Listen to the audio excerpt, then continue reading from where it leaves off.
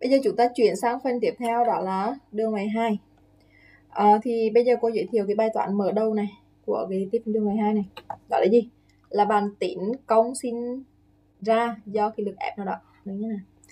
bây giờ có một chất điểm P di chuyển từ A tới B dưới tác dụng của lực ép này thay đổi theo vị trí Đấy nhá. F này là có thể mạnh yếu khác nhau Đấy nhá.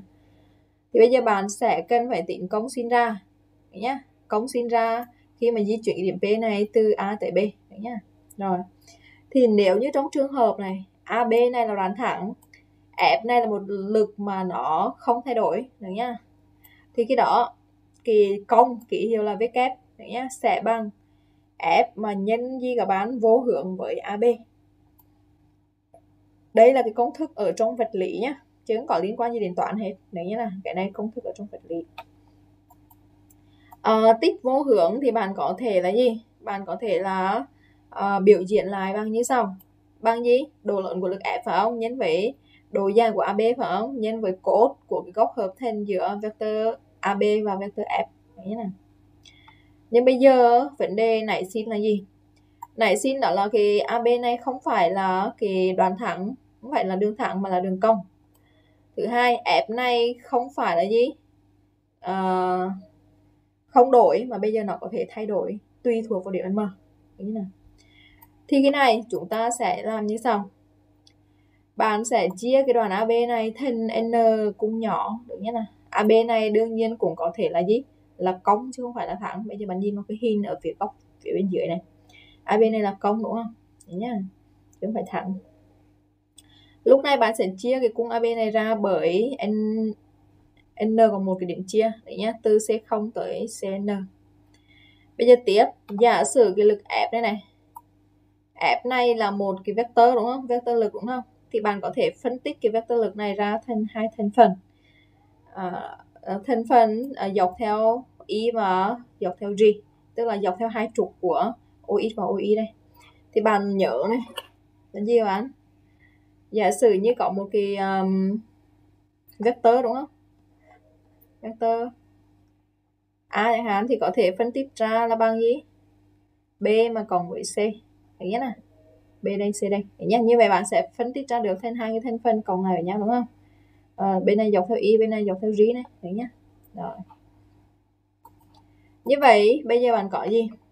À, lực ép này được biểu diễn sẽ bằng một cái hàm p à, nhân với y cộng với q nhân với g vì sao lại là cái hàm pq bởi vì cái app này là thay đổi được nhá. Nên bây giờ sẽ là biểu diễn qua hai cái hàm thay đổi pq được nhá dọc theo hai trục còn lại với nhau. Nhân với EG còn lại với nhau. Bây giờ tiếp. À, muốn tính cái công sinh ra ở trên toàn bộ AB này bạn tính công ở trên từng đoạn nhỏ của C này đến C kia. Được nhá là hai cái C liên tiếp còn lại với nhau. Được nhá nào. Thì bây giờ bạn thấy này sẽ trên cái cung CI trừ 1 CI à, nếu như trong trường hợp mà cái cung này ngắn hả thì bạn có thể xem cái đường cong là xem như là đường thẳng. Được chứ nào? Bây giờ bạn thấy là đường cong rồi nhá nó gần như với cái đoạn là đường thẳng là như gần như với giống như là cái đoạn thẳng từ CI trừ 1 đến CI nhé nào? Tiếp. Thì cái này bạn lại thấy uh, cái vector CI trừ 1 CI này cũng có thể phân tích ra hai thành phần là delta x đấy nhá à, cộng với delta y phải không? Nghĩa là dọc theo hai trục này như vậy delta x này nhân với vector y dọc theo trục x cộng với delta y mà nhân với vector g ở trên trục y. Nghĩa là khi này bạn lại làm gì nữa? Như vậy là cái ờ, cái cung này là bạn xác định được rồi nhá. Bây giờ tiếp này. Về việc cái thằng f đúng không? À, thì bạn sẽ chọn một cái điểm m nào đó trên đó để lấy cái app này làm app đại diện app tại cái điểm m đó làm cái app đại diện cho trên cái đoạn này luôn đấy nhá. Thì cái đó cái cống sinh ra ở trên cái cung này sẽ bằng à, bằng gì? Theo công thức ở trên này này sẽ bằng lực ép đấy nhá. Ở tại cái điểm m nào đó lấy đại diện để xem như nó không đổi ở trên cái đoạn đoạn ci trừ một ci đó đấy nhá. Nhân với cái vector ab tương ứng bây giờ là vector ab sẽ là ci trừ một ci đấy nhá thì hai cái vector mà nhân vô hướng lại với nhau. Đấy nhá. À, thì bạn nhớ này công thức hồi xưa là gì bạn? Nếu như có vector a phải không? Là a1 b B1 chẳng hạn. À, A2 chẳng hạn. Vector B là B1 B2 thì như vậy A nhân B vô hướng là gì các bạn? A1 B1 cộng với A2 B2 đúng không? Nhớ nào? Như vậy trong trường hợp này bạn có gì? Hai thằng này nhân vô hướng lại thì hai thành phần của F sẽ là P và Q. Tại điểm M, đúng nhất là còn hai thành phần của cái đoàn này sẽ là delta x và delta y. Như vậy, nhân vào với nhau bạn có biểu thức này. Đúng nhất là bây giờ tiếp, đây là cái công sinh ra ở trên một cái đoàn nhỏ, phải không? Bây giờ toàn bộ, tất cả đoàn AB này thì sẽ bằng tổng của những đoàn nhỏ nó còn lại với nhau. Như vậy công sinh ra sẽ gần bằng tổng của những cái công trên từng đoạn trên từng cung được nhé nào và bằng tổng sigma của cái đường này. Thì nếu như trong trường hợp bạn chia n này cực kỳ nhiều n này tiến ra vô cùng thì giá trị này chỉ bằng công chính xác được nhất nào của cái lực ép đó trên đoạn trên cái cung AB trên dây AB này. Thì lưu ý đấy nhá nếu như giá trị đó tồn tại thì nó sẽ được gọi là tích phân đường loại 2 đấy nhá trên ở à, từ A tới B đấy nhá nào của cái hàm ở bên trong sẽ là P dx q di Nhận giác và sẽ ký hiệu là thế này. Thế này. Tích phân đường loại 2 đấy nhá. Uh, của cái hàm p dx rồi q di đấy nhá kết ký hiệu ở ban đầu cái dấu tích phân này thì hoàn toàn giống tích phân đường loại một nhá nhưng mà ở cái phía bên trong này cái hàm gì dấu tích phân là khác này các bạn. Bên kia là một cái hàm hai biến ds được nhá chữ s nhá còn bên này là hai hàm pq tương ứng nhân dx dy như vậy đây là tích phân đường loại hai. Được nào. Rồi. Thì bạn sẽ có công thức như sau.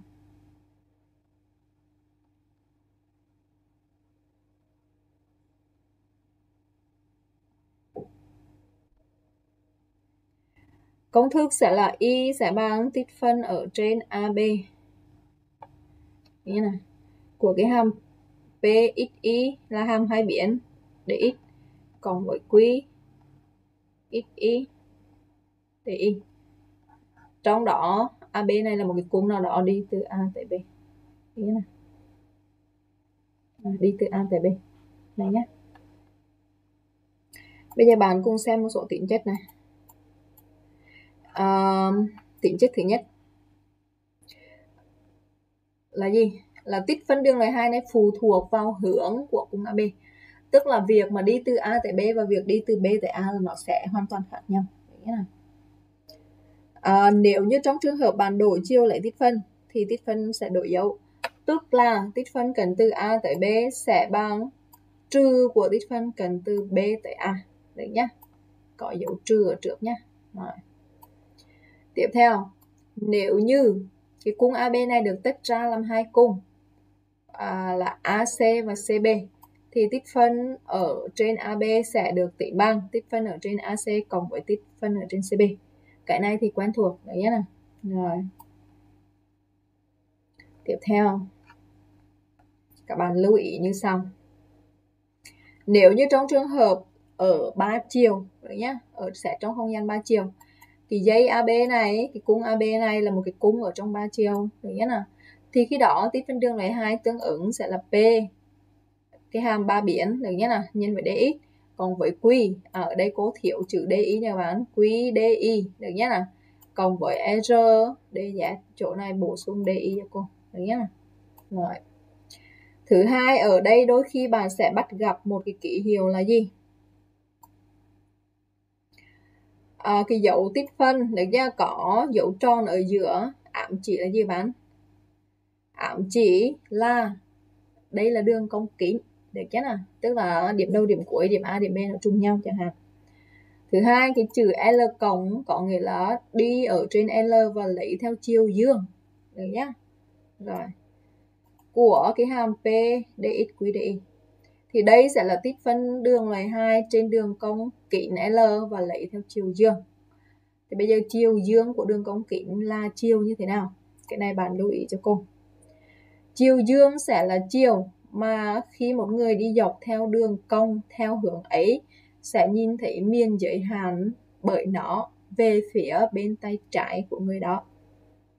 Nha, đọc lại này. Là chiều mà khi một người đi dọc theo đường cong theo hướng ấy, sẽ nhìn thấy miền giới hạn bởi nó đi về phía bên tay trái. Đấy nha. Bây giờ có như sau. Cô sẽ này bây giờ sẽ chiều dương là chiều như thế nào?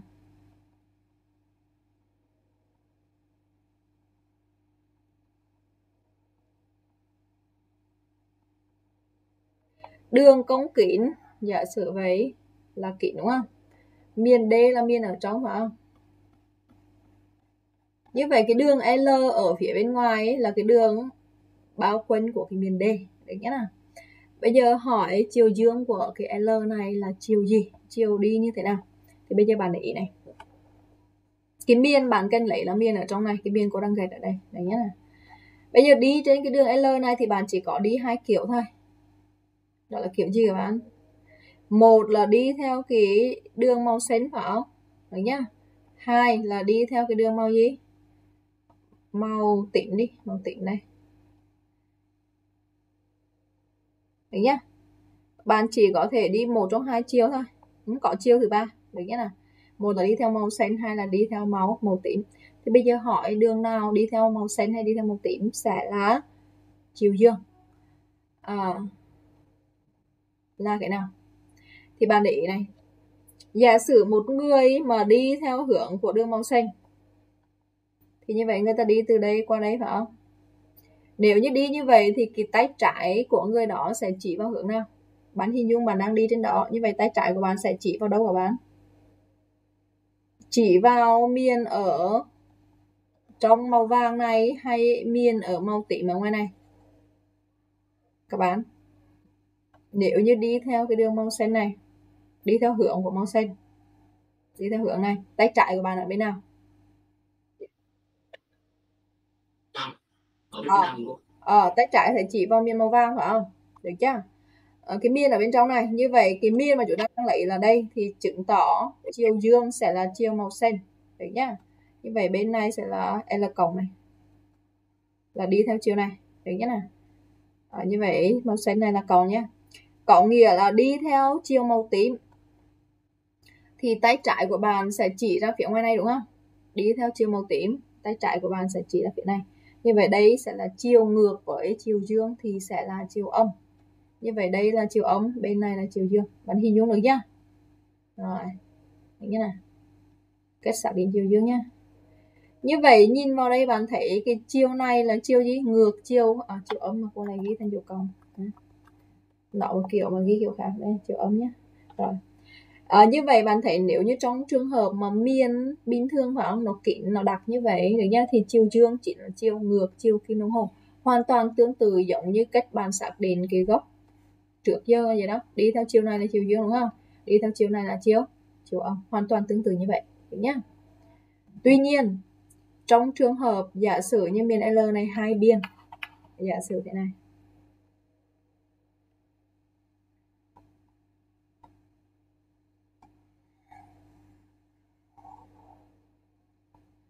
Biên L1 được nhá. Bây giờ bạn có thêm cái biên L2 như sau.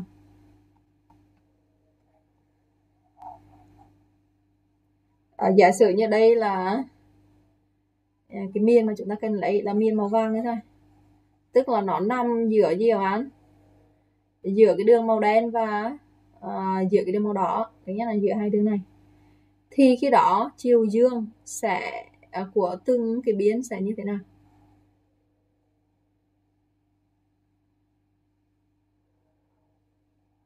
Bây giờ bạn để ý cho cô này. Biên ở đây sẽ có hai biên L1 và L2. Đấy nhá. Bây giờ bạn xác định chiều dương của L1 giúp cô xem nào. Miền chúng ta cần lấy, miền D chúng ta cần lấy là miền ở đây đúng không? Đấy nhá. Như vậy đi theo hướng nào của bạn?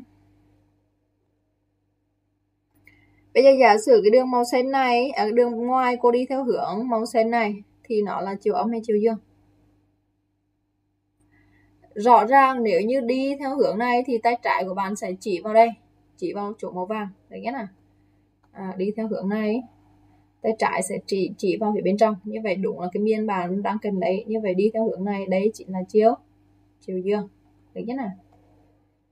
Còn biên màu đỏ thì sao các bạn? Màu đỏ có đặc điểm gì? Nếu như trong trường hợp bạn đi theo hướng này luôn thì sao? Nếu như đi theo hướng này đi theo hướng này, thì tay trái của bạn sẽ chỉ vào đâu? Đi theo hướng này, tay trái chỉ vào đâu các bạn? Có phải là chỉ vào cái phía màu tím này không? Đấy nhá, mà cái phần màu tím này là phần mà các bạn không lấy. Bây giờ cái biên của chúng ta, cái biên L2 này là bao quanh của cái thằng màu vàng. Cái miên mà cô muốn lấy ở đây là miên màu vàng nữa nhá. Giới hạn bởi đường L1 và L2 thì rõ ràng chiều dương của L2 trong trường hợp này sẽ là chiều. Chiều nào? Chiều này này. Được nhé vì nếu như trong trường hợp bạn đi theo cái dấu mũi tên màu xanh ở đây, thì bạn sẽ có sẽ có gì bạn? Tay trái của bạn. Đi theo hướng này phải không? Ý, nhầm nhầm nhầm nhầm nhầm nhầm nhầm. Cô lại vẽ hai hai mũi tên cùng chiều hả? Đây, đi theo hướng này chứ. Đấy nhá đi theo hướng này. Đấy nhá thì khi đó tay trái của bạn sẽ chỉ vào đâu? Tay trái của bạn sẽ chỉ ra phía màu vàng, đúng không? Như vậy, trong trường hợp này, đây sẽ là chiều dương của cái tham màu màu đỏ. Thứ nhất là hình dung được không các bạn? Đấy nhá như vậy đây là chiều dương. Được nhất nào như vậy bạn thấy này, nếu như trong trường hợp cái hình mà gì, nó bị lõm ở giữa đấy nhá cái miền này bị lõm ở giữa đúng không? Miền này bị lõm ở giữa này được nhất nào thì khi đó đấy nhá bên ngoài nó vẫn chạy ngược chiều kim đồng hồ và bên trong thì nó sẽ chạy cùng chiều kim đồng hồ, thì đó sẽ là chiều dương được nhé nào rồi, thì kỳ kết xác định chiều dương này, lưu ý là phải theo các bạn suốt nha bạn phải lưu ý là phải nắm được cách này thì mới làm được bài ở tiếp phân đường 12 thứ nhất là tiếp, ý thứ ba. Công do lực ép tác động lên chất điểm. Nào, làm nó dịch chuyển từ điểm A tới điểm B theo dọc theo cung AB sẽ được tính theo công thức này. Công thức này chỉ là cái công thức mà nãy giờ chúng ta đi xây dựng đấy đúng nhé thì đây sẽ nằm ở trong phần ứng dụng của tiếp phân đường 12 đấy là sẽ là tính công. Rồi, bây giờ cách tính bạn cũng sẽ có các công thức lên lượt như sau. Bên này nó cũng sẽ chia ra hai dạng các bạn. Dạng thứ nhất là gì các bạn? Dạng tham số. Và dạng thứ hai sẽ là dạng tường minh. Đấy nhé bạn cũng chỉ có hai công thức này thôi. Đấy nhé nào. À, thì bây giờ cách làm như thế nào? Cô sẽ đi rõ cho bạn này. Cách tính đi phân đường loại hai.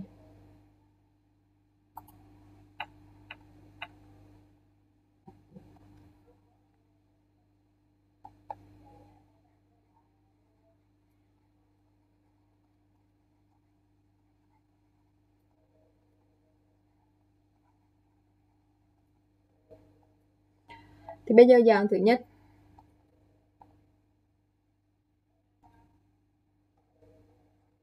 Nếu như trường hợp cái cung AB cho dưới dạng phương trình tham số,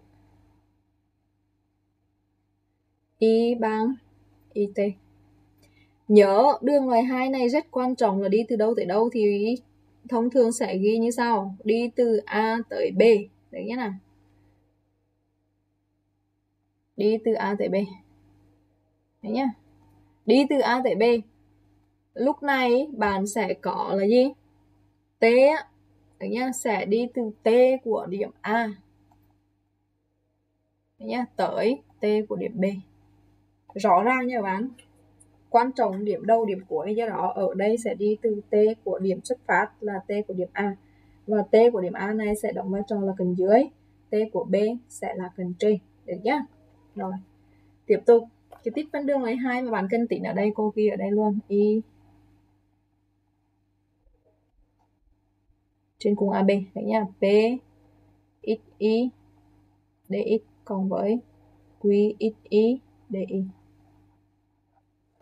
như vậy lúc này sẽ tính như thế nào? Bạn lưu ý này. Sau khi có uh, x y này rồi bạn sẽ tính cho cô x phẩy.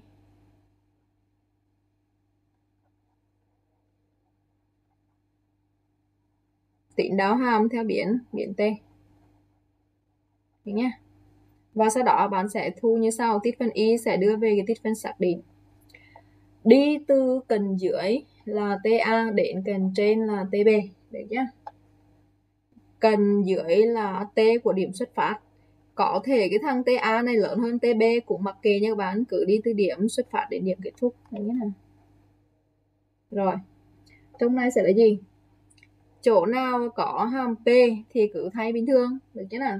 P sẽ là gì? X sẽ là thay bởi XT Y sẽ thay bởi IT được nhá? Tiếp. DX phải không? DX thì bạn sẽ nhân với gì? X phẩy nha còn với Q. XT IT Đấy nha. DI thì bây giờ sẽ nhân với Y phẩy. Tất cả này lấy nguyên hàm theo biến T. Được chưa? Nhớ nhá, nhớ ở đây có nhân với Y phẩy, nhân với Y phẩy. Được chưa nào? Và tính toàn bộ ngoài này nhớ phải đặt thêm cái dấu ngoặc này nữa. Thiếu dấu ngoặc này là sai nha. Nha. DT. Được nhá. Và đưa về tính cái tích phân xác định bình thường. Xong. Trường hợp số 2.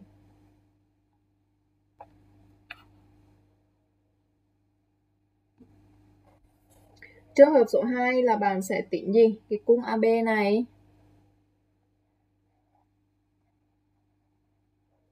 Cho dễ dàng phương trình thường min giả sử y sẽ bằng y x phụ thuộc vào biến x. Thấy nhé nào. Lúc này x sẽ là biến thì bạn sẽ chặn x.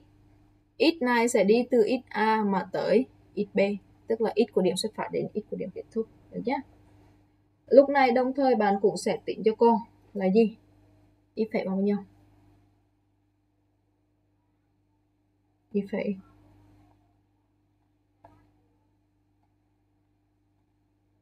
Nha tiện cho con à, nói cái khác ở đây là do tính d ý á, sẽ bằng cái gì các bạn uhm, ý phẩy theo x để x như này suy ra tích phân y sẽ bằng này.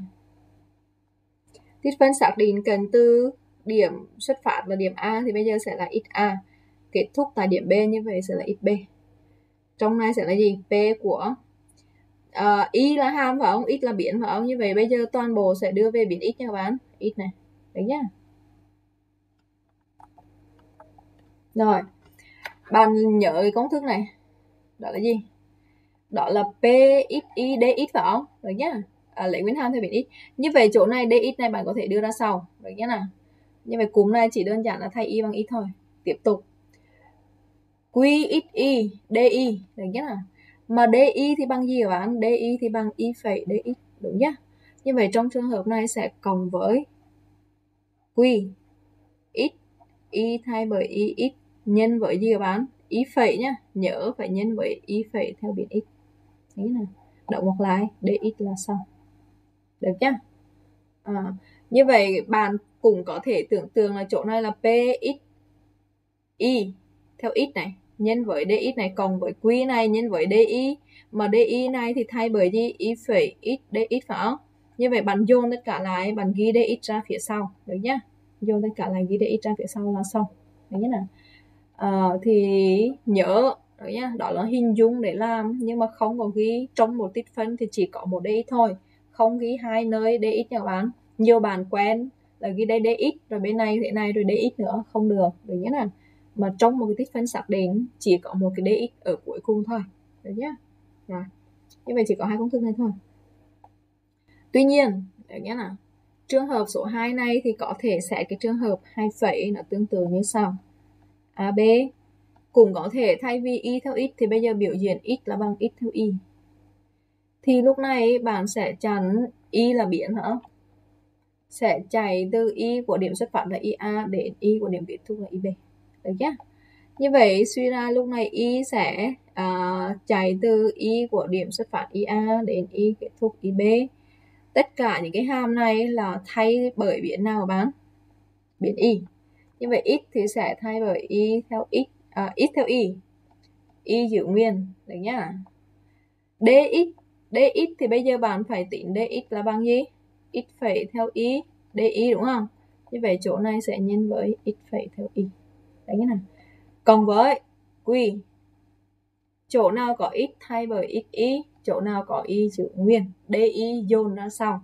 Như vậy động ngược lại di xong. Đấy nhé nào như vậy hai công thức này là tương tự nhau đấy nhé à, ờ, trường hợp tham số mà có trong ba chiều thì bạn cũng tính hoàn toàn tương tự trên này luôn. Không có gì khác. Đấy nhé nào tính tương tự.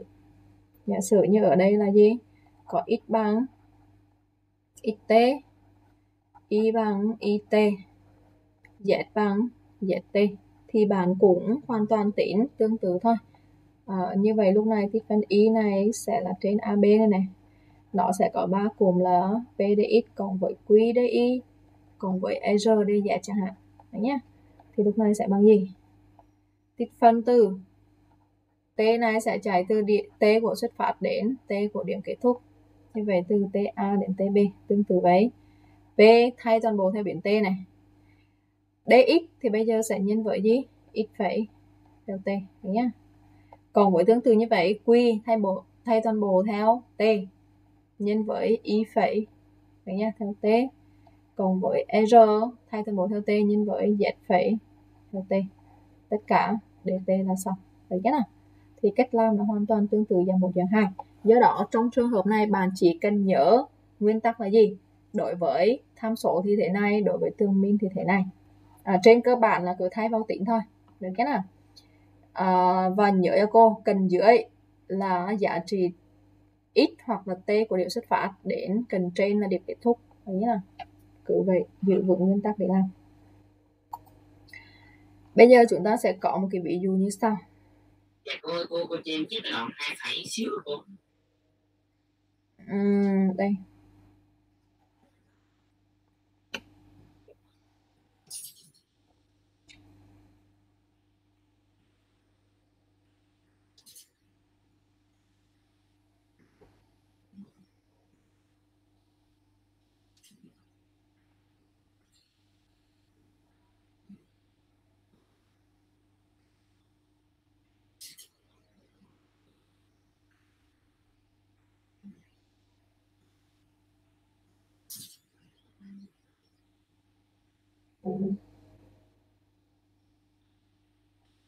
dạ em xong rồi cô gì đám cô. Rồi ok. Bây giờ ví dụ này. Giả sử như bây giờ bạn có bài này.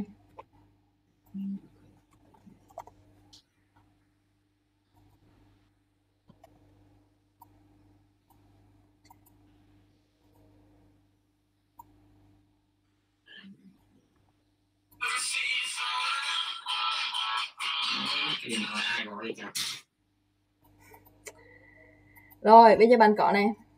Tỷ tiếp phân đường 12, được nhất là Trong đó à, AB này là cung parabol.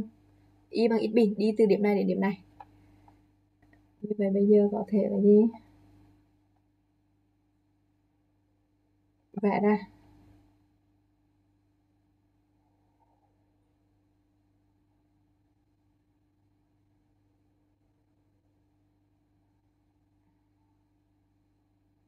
Đi từ điểm 0 0 được nhé nào, như vậy từ góc tọa độ. Đây.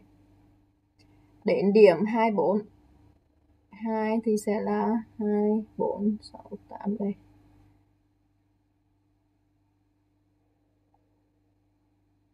Nhé giả sử parabol đây. Hơi xấu một tí, coi tạm thôi 24 bạn có gì này? Người ta nói như vậy có nghĩa là gì các bạn?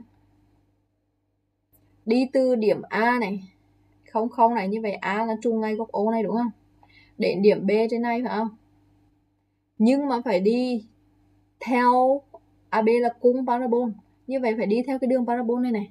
Từ điểm này đến điểm kia nhưng mà đi theo cái parabol này. Được chưa? Cũng giả sử như các bạn nói gì các bạn?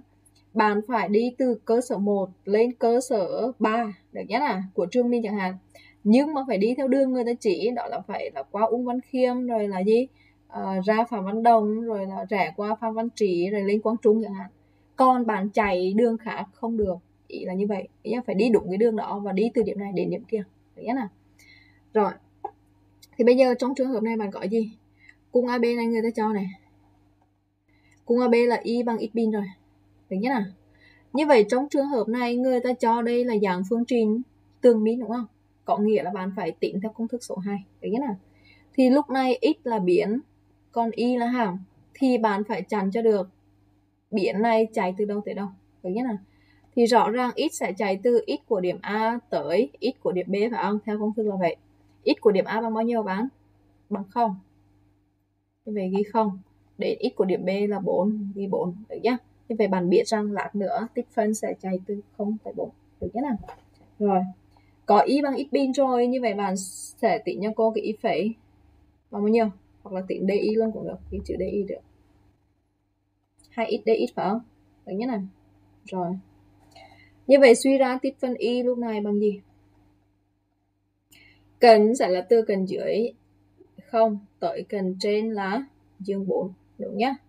Rồi hàm sẽ là gì? Hàm p của chúng ta ở đây là x bình trừ đi 2 xy phải không? Đây x bình trừ 2 xy như vậy bạn sẽ có là x bình này trừ đi 2x này. Nhân với y tức là nhân với x bình đúng không? Dx sẽ đẩy ra sao cộng với 2x nhân với y là nhân với x bình này. Trừ đi y bình tức là trừ đi x mũ bộ này.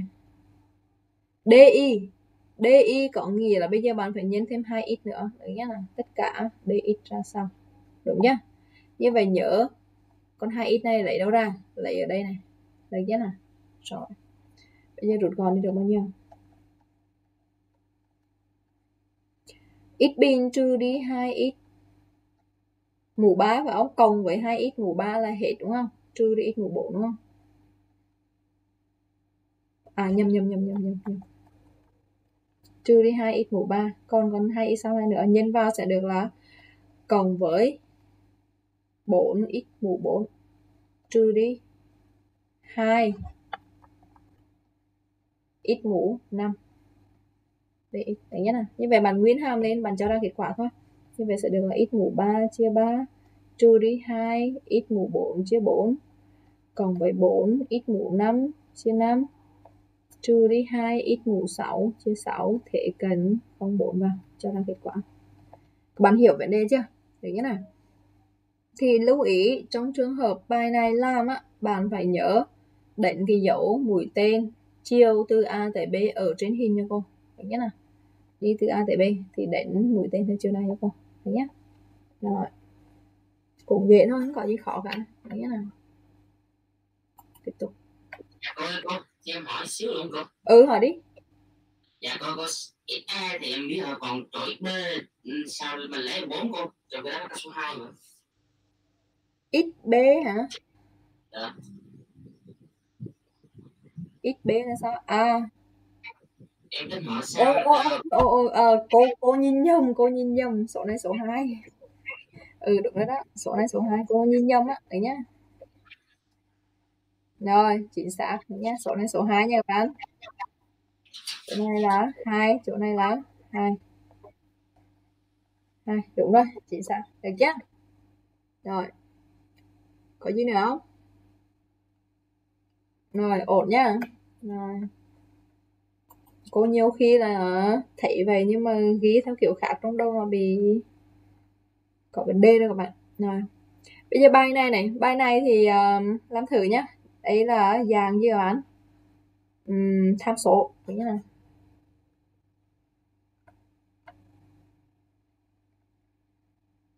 Có thể tính nó hơi rắc rối nhưng cô chỉ thay con đoàn rạp vào thôi đấy như này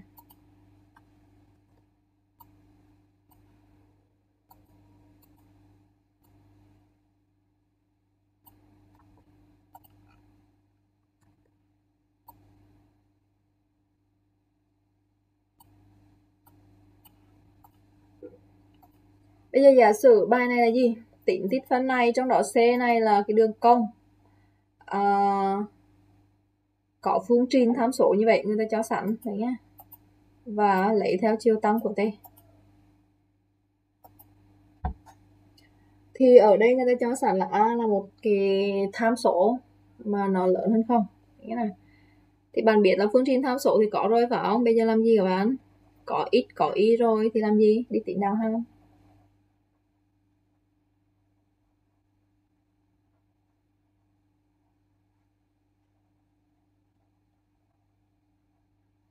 Nha.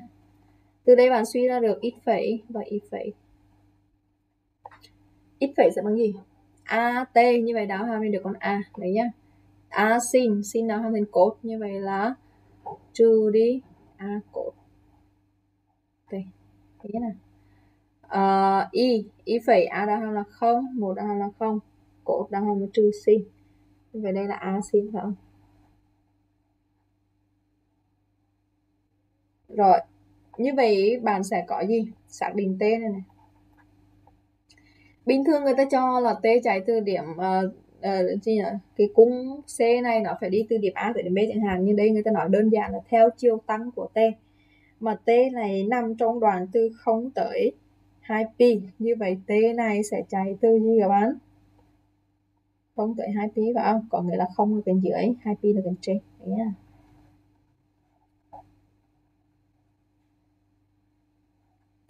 bây giờ bạn có x đừng nhớ là d dx phải không? Như vậy x sẽ là a này.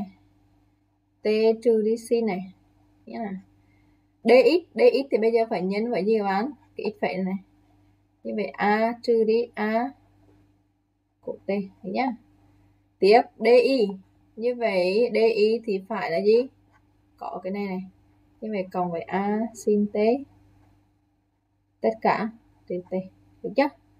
Đến đây bạn rút gọn, bạn tính toán thì sẽ cho ra kết quả. Đấy là thì bài này thì cô cho đề ngẫu nhiên và để các bạn nắm cái cách thể vào thôi.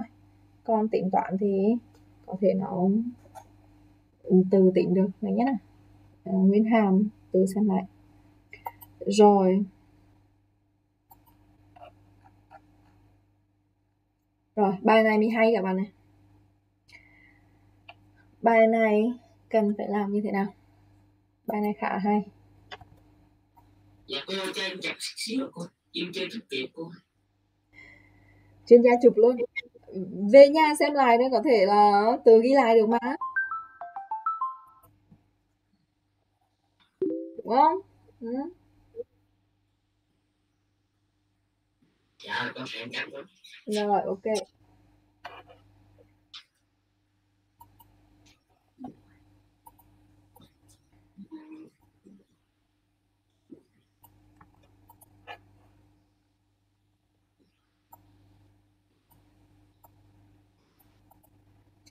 Rồi, bây giờ bạn đọc cái đây bạn phân tích cho cô nào.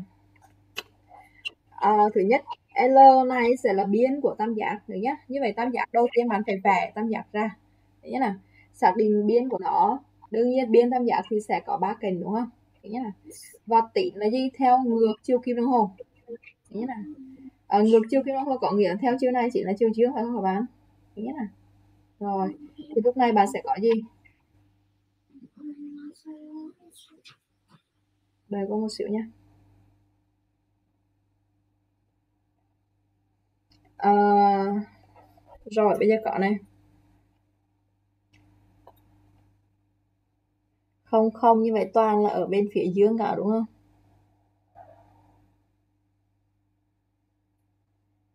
Rồi.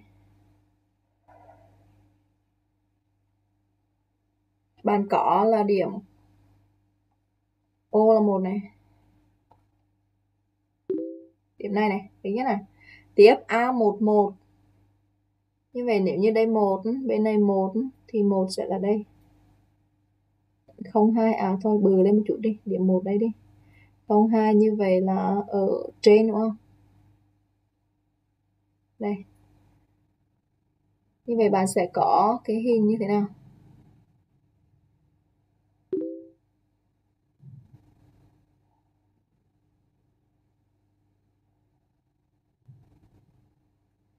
Tam dạ, giác thứ nhất này O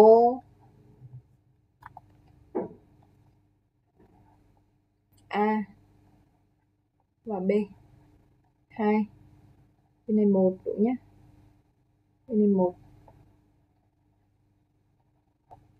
Đi ngược chiều kim đồng hồ, có nghĩa là gì các bạn?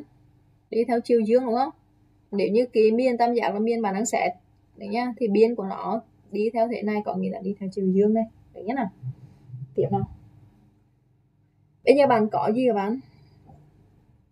Ở đây đấy nhá tam giác thì có ba biên do đó bạn phải viết phương trình của từng biên ra và tính ra cho cô. Đấy nhá nào. Thì có gì? L sẽ là OA đúng không? Nhớ nhé, đi theo chiều từ O đến A, đi từ A tới O là không phải nhé, O tới A này hợp với A tới B và hợp với B tới O, đúng nhé. Khi này bạn phải viết phương trình của OA ra. OA phương trình là gì hả bạn? Đi qua điểm 00, đi qua điểm 11, như vậy phương trình của nó dễ tìm không? Y bằng x đúng không? Y bằng x, đúng nhé này. Rồi. Như vậy khi bạn ghi thế này có nghĩa bạn xem x là biến đúng không? Thì bạn sẽ cho x này chạy từ đâu? x này chạy từ x của điểm xuất phát tức là x của O bằng 0 đến x của điểm A sẽ bằng mấy đấy? Bằng 1. Đúng nhất à? Rồi. Lúc này x là biến, y là hàm như vậy bạn tính DI luôn. DI sẽ bằng DX luôn đúng không? Rồi. Tiếp kênh thứ hai là kênh AB. Phương trình của AB bằng gì hả bạn? Đi qua điểm là 11 được nhá. À, đi qua điểm 11 và đi qua điểm 02 này. Như vậy có phải là x cộng y bằng 2 không? Cô nhẩm nhé. Nghĩa là x cộng y bằng 2 như vậy có thể ghi là y sẽ bằng 2 trừ đi x. Nhé. Lúc này cô cũng đang xem x là biến như vậy sẽ chạy từ x của điểm nào đến x của điểm nào? x sẽ chạy từ x của điểm xuất phát là x của điểm A đúng không? X của A thì bằng 1 đến x của điểm B x của điểm B bằng mấy các bạn? Bằng 0. Được nhé nào? Rồi. Như vậy trong trường hợp này DI sẽ bằng gì? Y đây. Được nhé nào? Như vậy DI sẽ bằng trừ DX. Được nhá. Tiếp tục BO BO phương trình của nó là gì các bạn? Ừ, thể lấy y bằng được rồi mà phải lấy x bằng 0 đúng không? y bằng 0 đúng không?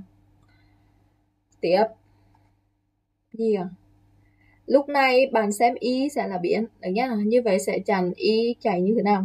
Y sẽ chạy y của điểm B mà đến y của điểm O. IB thì bằng dương 2, IO là bằng 0 đấy nhé nào lúc này bạn sẽ tính được DX x bằng gì x bằng không rồi thì nó sẽ đương nhiên là biểu diễn có biến y vào là không đi y vào là không luôn. Được nhé rồi.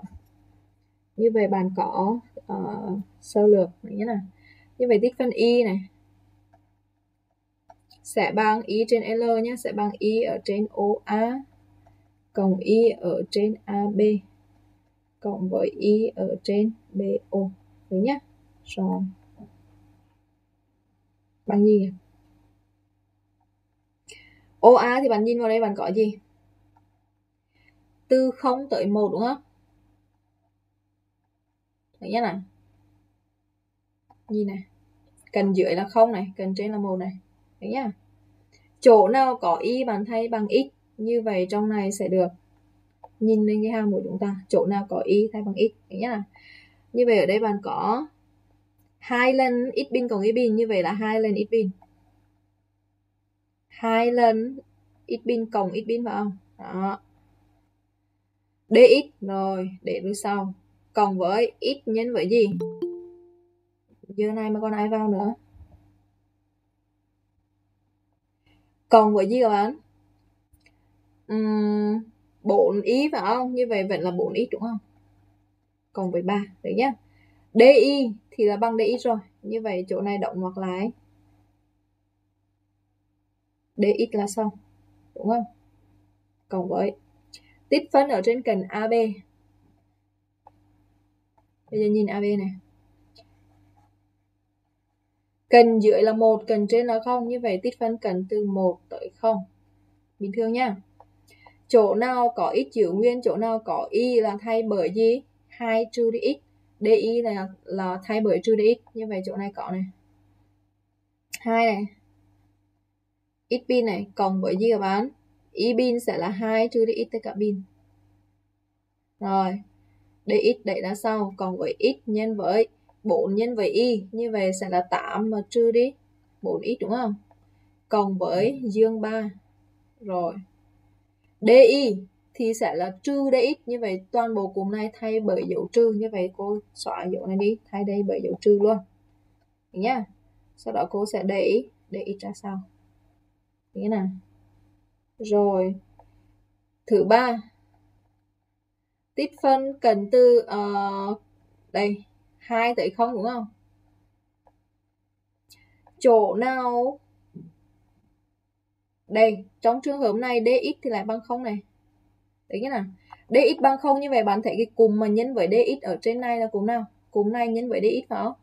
Như vậy rõ ràng nguyên cụm này sẽ bằng không luôn bỏ luôn. Được nhá.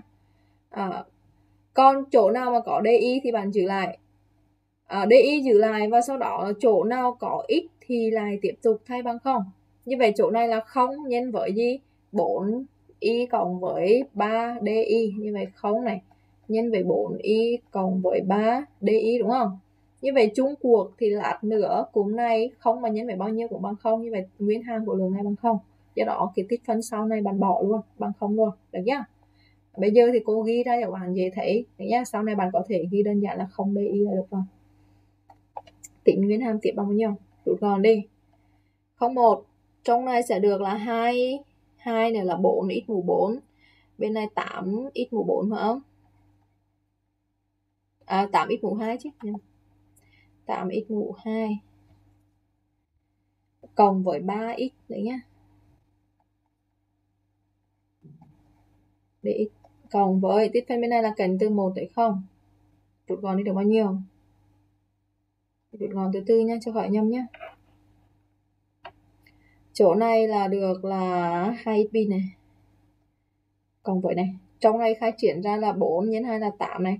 Trừ đi 4x như vậy là trừ đi 8x này cộng với x pin, như vậy cộng 2 pin này. Trừ đi 8x này. Cộng với 4 x pin này trừ đi 3x này. Đấy nhá. Để hơi tính toán hơi dài một chút nhưng thôi lỡ. Chỗ này sẽ là 8 x mũ 3 chia 3 cộng với 3 x bình chia 2 thể cần 0 1 Đúng nhất nào. Ghi sát vào 01 nhé cộng với. Chỗ này cứ một không đã, chụp con là này. 2 x pin 2 x pin 4 x pin như vậy 8 x pin, đấy nhá trừ 8 trừ 8 trừ 3 như vậy 16 19 trừ đi 19 ít không? Hằng số là dương 8 như vậy cộng 8 để nhé tụi con đi là bao nhiêu? Bên này sẽ được 8 phần 3 cộng với 3 phần 2 bên này nguyên hàm lên. 8 ít mũ 3 chia 3 trừ đi. 19 ít pin chia 2 cộng với 8x thể kình 01 được nhất là bằng. Cô rất là lười cộng đấy nhá không. Thể không là không hết, trừ.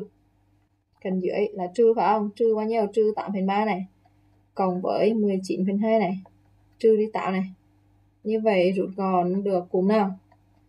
Cúm này cúm này, bỏ dương 8 phần 3 trừ 8 phần 3 bỏ, được nhá. Bên này là 3 bên này là 19 như vậy 22 là được 11 phải không Ừm. 11 trừ 8 bằng 3 Có bị nhầm chỗ đó không?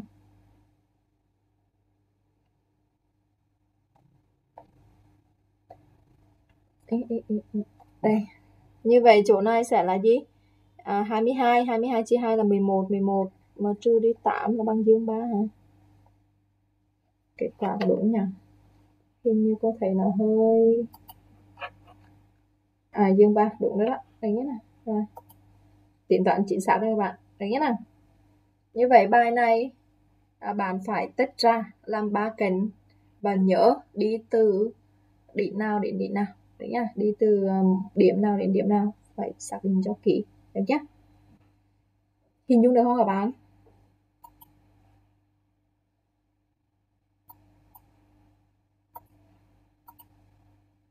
Các bạn hình dung được không?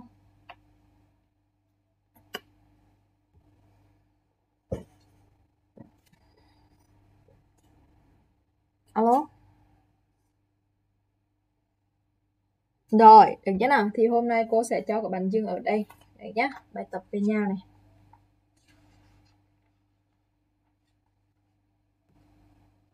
Rồi chịu khó xem lại nhé, học cho kỹ nhé, cho chắc nha. bây giờ bài 3 chấm. Bài tập về nhà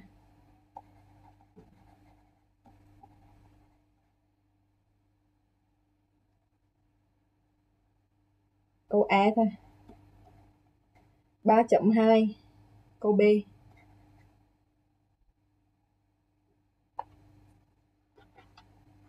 Tiếp. 3.6 ABC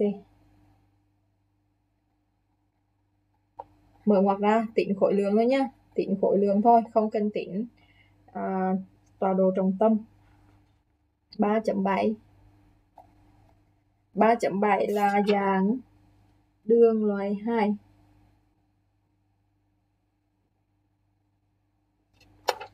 3.7 làm cho cô câu AB